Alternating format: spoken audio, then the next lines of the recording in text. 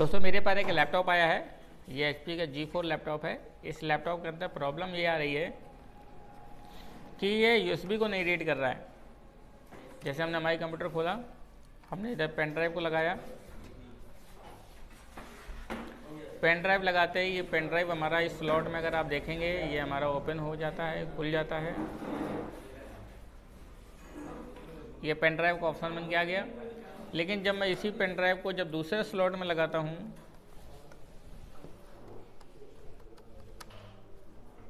तो ये नहीं ले रहा है।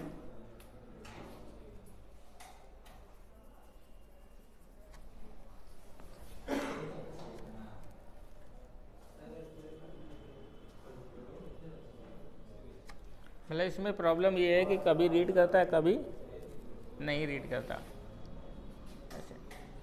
ये वाला स्लॉट ज़्यादा प्रॉब्लम करता है, कभी रीड करता है, कभी नहीं रीड करता है, लेकिन जब हम इसमें लगाते हैं तो इसमें हमारा प्रॉपरली एक बार में रीड हो जाता है।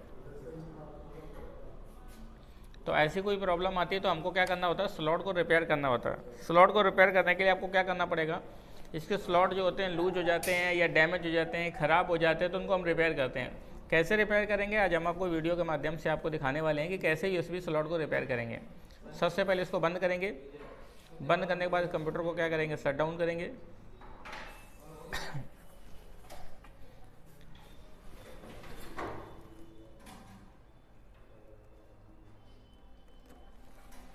हम आपको बताते हैं कि हमारे पास जैसे एचपी का जी फोर लैपटॉप आता है, इस लैपटॉप को ओपन कैसे करते हैं क्लोज कैसे करते हैं, इसका असेंबलिंग डिसम्बलिंग कैसे करते हैं, खोलते कैसे बांधते कैसे हैं? तो दोस्तों, इस वीडियो के माध्यम से हम आपको बताएँगे कैसे हम लैपटॉप को रिपेयर करते हैं या लैपटॉप को रिपेयर करने का टेक्निक क्या होता है, तरीका क्या होता है। सबसे पहली बात करेंगे, ये आपका जो लगा होता है, इसे हम लोग हार्ड डिस्क बोलते हैं। ये पत्ता होता है, स्लॉट होता है, इसको आप आसानी से ऐसे रिमूव कर लेंगे। उसके बाद फिर आपकी ये रैम लगी होती हैं, रैम को भी आसानी से आप हटा लेंगे।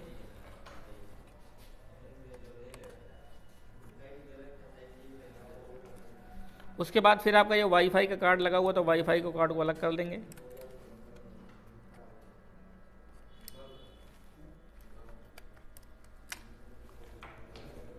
फिर उसके बाद आप क्या करेंगे, इसको पूरा खोलेंगे।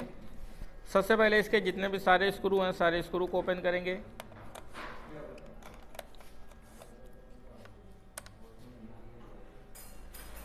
जब सारे स्क्रू एक एक करके सारे स्क्रू ओपन हो जाएँगे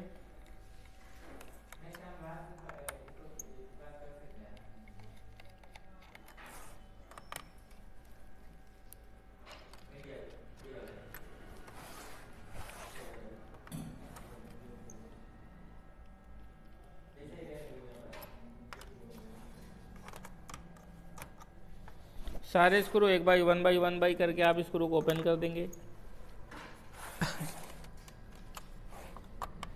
खोलते समय आपको ध्यान रखना है, इसमें ताकत का यूज़ नहीं करना है, प्रेशर नहीं देना है, क्योंकि नीचे हमारी एलसीडी लगी होती है, एलसीडी ब्रेक हो जाएगी तो फिर आपका बहुत ज़्यादा नुकसान हो जाएगा तो इस बात का आप ज़रूर ध्यान रखेंगे। जितने भी सारे पेंच हैं, सारे पेंच को आप ओपन कर लेंगे एक एक करके।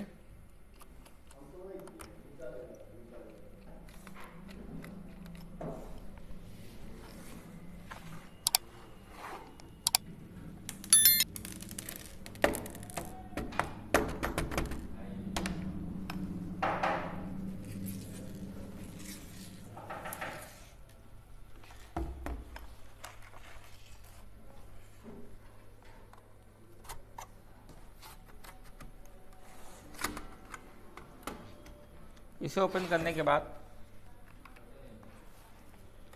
कीबोर्ड को हटाएँगे कीबोर्ड को हटाने के लिए आपको यहाँ से ऐसे उंगली लगानी है, ऐसे हल्का सा प्रेस करना है। जैसे प्रेस करेंगे कीबोर्ड आपको ओपन हो जाएगा। ये इसका एक कीबोर्ड है। ऐसे आप ओपन करेंगे। इस वीडियो के माध्यम से हम लैपटॉप की सर्विस भी करने वाले हैं। अगर इसके अंदर स्लो प्रोसेसिंग स्लो वीक ऐसी प्रॉब्लम आ जाती है तो हम लोग इसके माध्यम से खोल करके इसको साफ़ कर देते हैं। और हमारी इसकी स्पीड अच्छी हो जाती है और हमारा लैपटॉप बढ़िया तरीके से काम करने लगता है। ये जो पिंस होती हैं, इनको बहुत आसानी के साथ में खोलना है।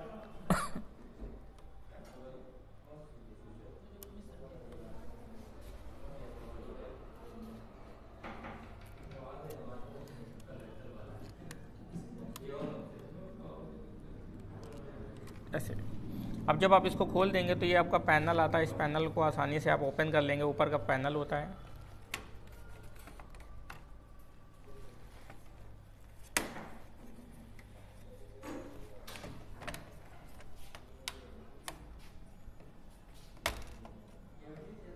ऐसे खोल लेंगे।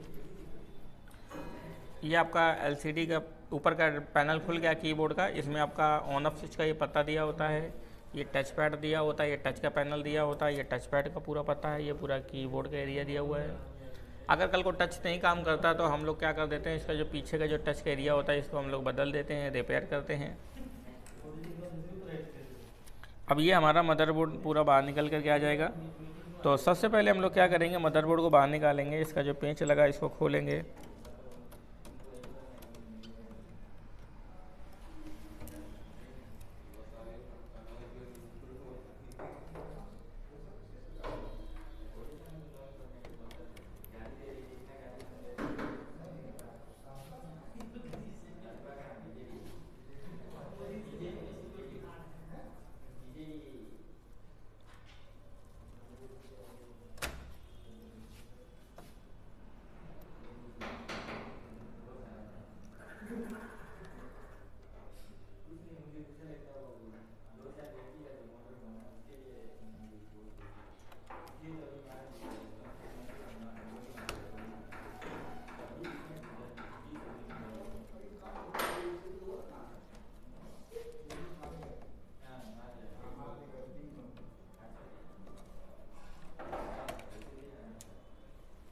इसको हटाओ।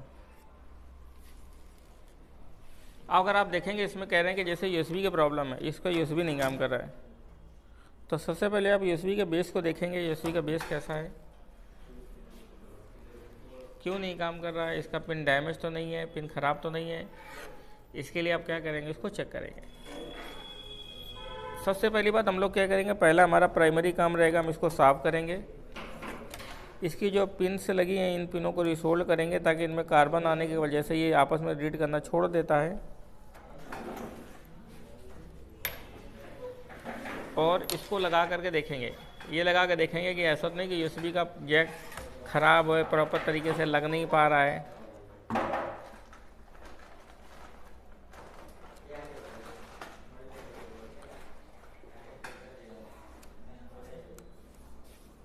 इसमें प्रॉपर घुस रहा है, लेकिन इसमें प्रॉपर इंसर्ट नहीं हो रहा है।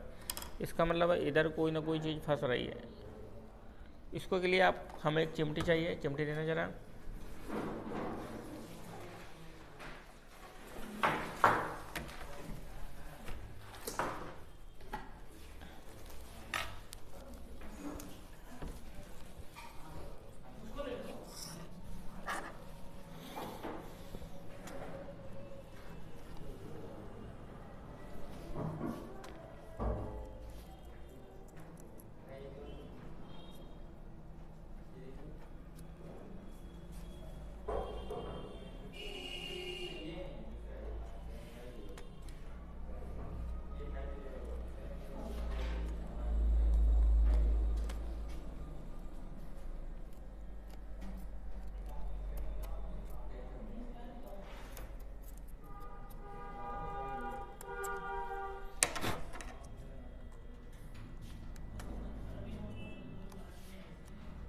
ये देखिए।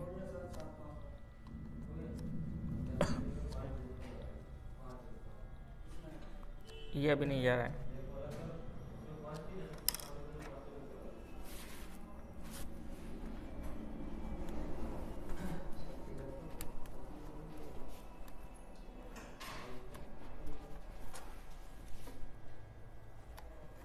इसमें हम काफ़ी दिनों तक यूज़ नहीं करते तो हमारा इसमें धूल, मिट्टी डस्ट वगैरह इसके अंदर चली जाती है।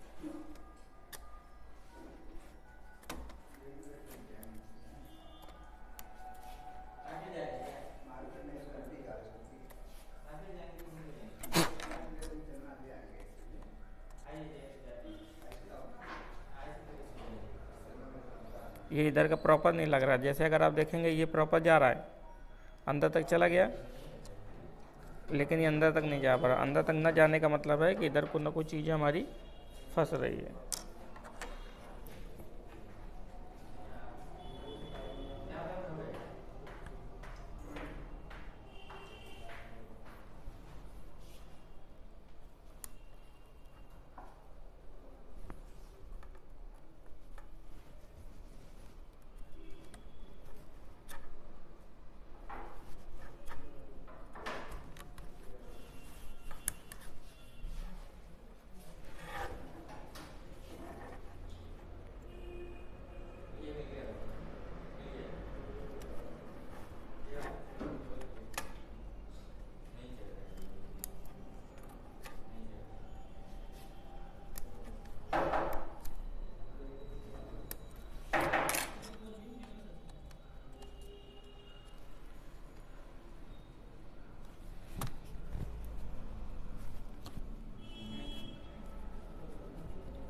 इधर जा रहा, लेकिन इधर का एरिया फंस रहा है। मतलब ये प्रॉब्लम इसमें है।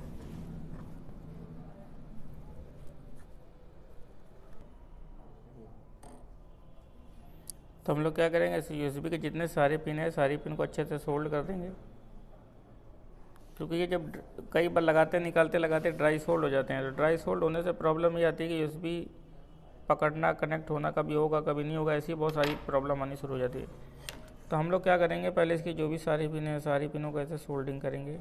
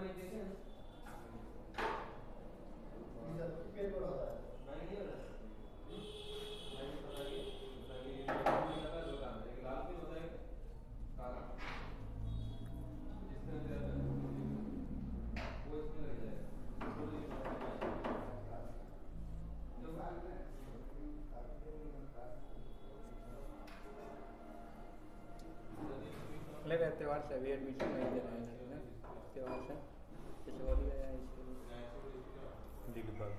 हाँ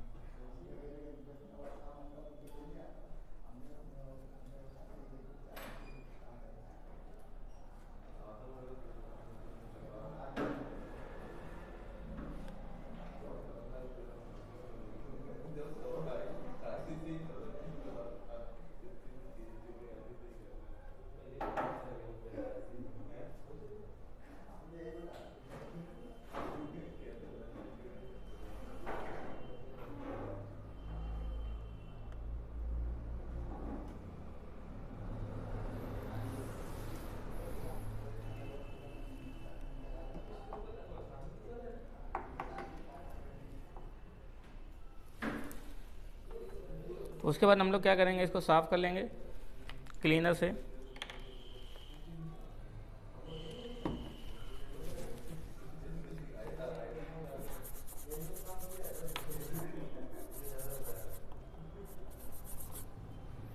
इसको साफ़ करने के बाद इसके अंदर की जो पिन होती है, उसको भी साफ़ कर लेंगे।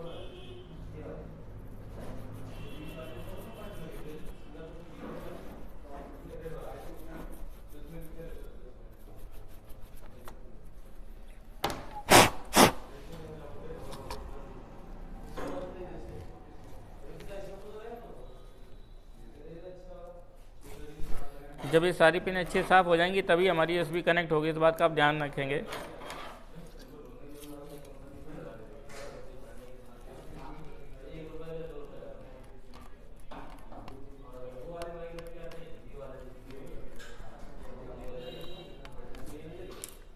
हम लोग इसको लगा के देखते हैं एस को।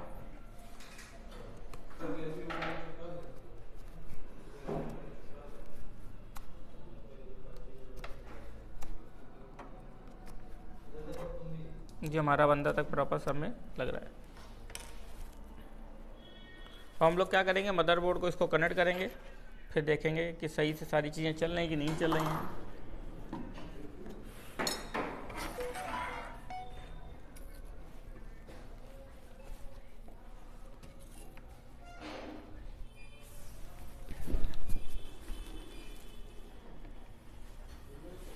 हम लोग क्या करेंगे, सबसे पहले बोर्ड को सिस्टम में यूनिट में लगाएँगे।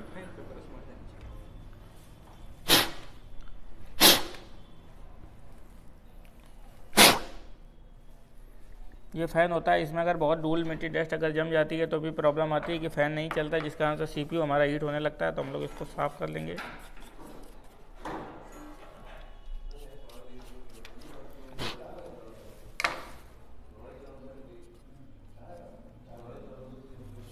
अब इसको क्या करेंगे? हम इसको इस फिर से दोबारा असेंबल करेंगे।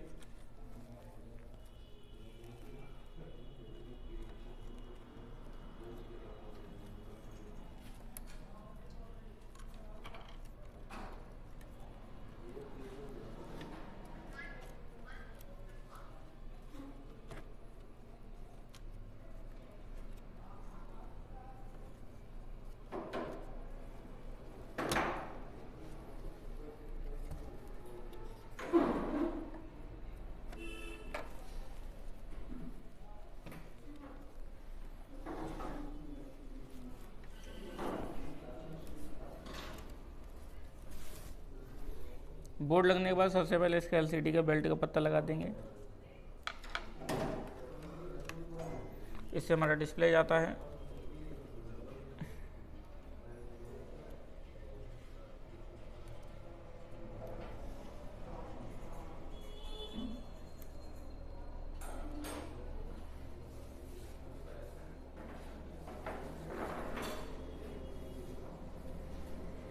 ये तो हमारा स्पीकर है कनेक्टर दिया हुआ है। इसको आप लगा देंगे, कभी ख़राब हो जाएँगे तो उनको भी चेंज किया जाता है।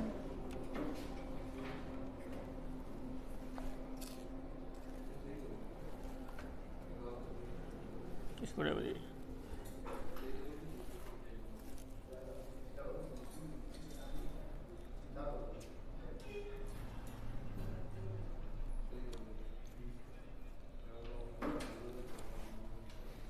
इसको हम लोग अच्छे से टाइट कर लेंगे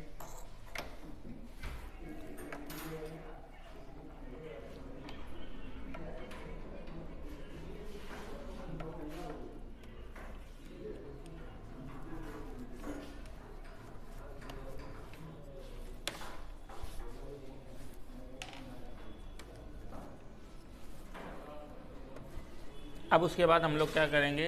इस पर का पैनल लगाएँगे।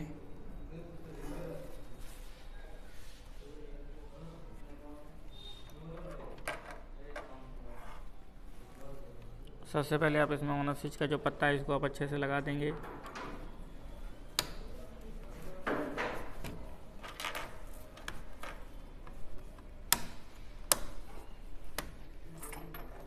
फिटिंग करने के बाद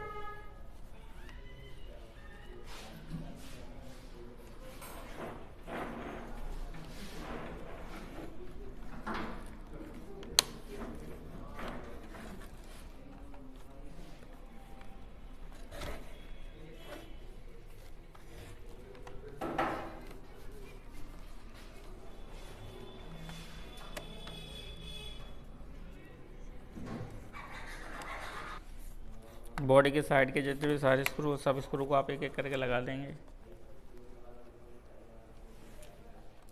पहले आप चारों साइड के जो कॉर्नर के स्क्रू होते हैं, बड़े स्क्रू होते हैं, उनको आप पहले अच्छे से लगा देंगे।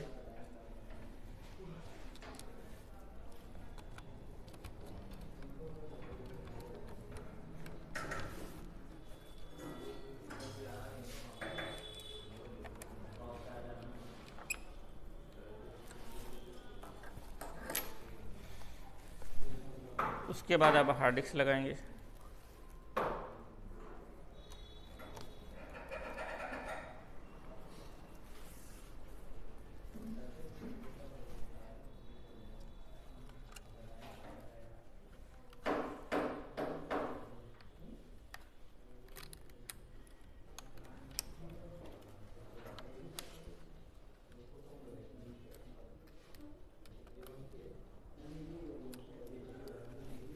फिर आप इसमें एंटीना लगा देंगे।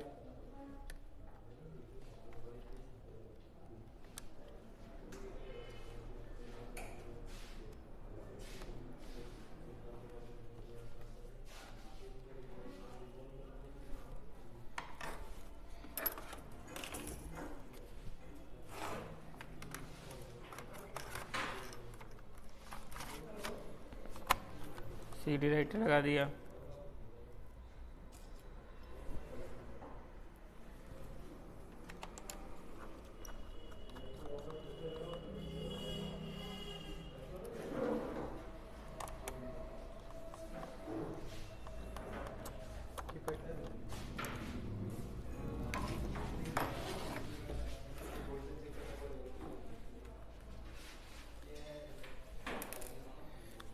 कीबोर्ड है इस कीबोर्ड का पहले आप पत्ता लगाएँगे।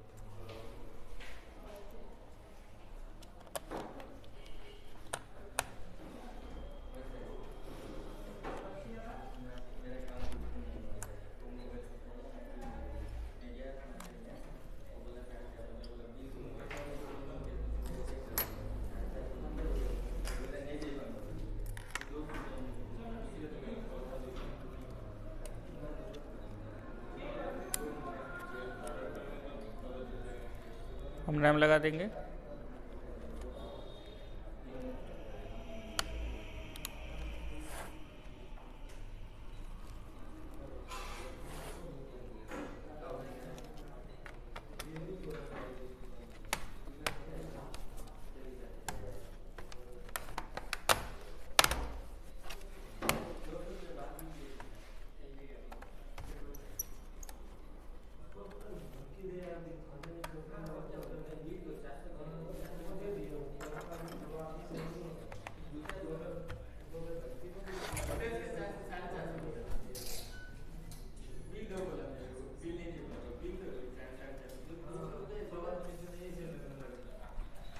हमारा लैपटॉप चालू हो गया हम लोग अब चेक करेंगे।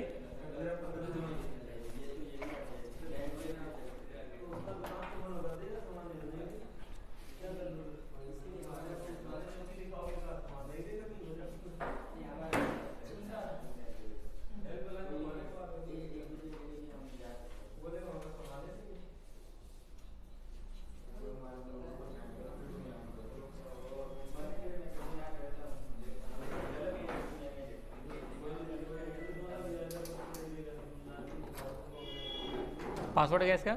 ए टी यू एल है? A T U L Atul.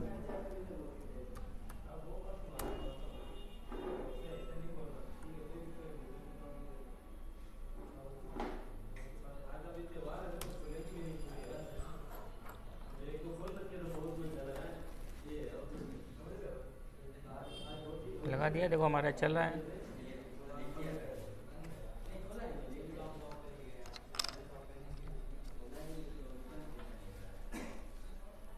चल रहा है।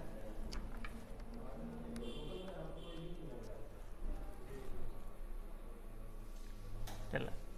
तो अब इसका क्या है? ये हमारे जितने भी सारी यूएसबी के स्लॉट हैं, सारी यूएसबी के स्लॉट क्या हो गए सही हो गए हैं।